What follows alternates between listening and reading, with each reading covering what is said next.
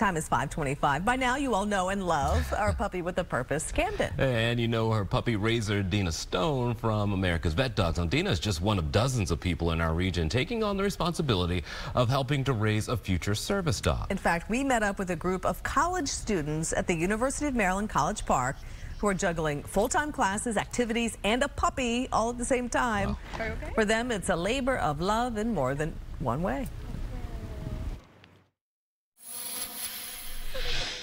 Great to feel like you're making an impact on somebody's life, especially once you can see the pictures of the uh, dogs that have already graduated.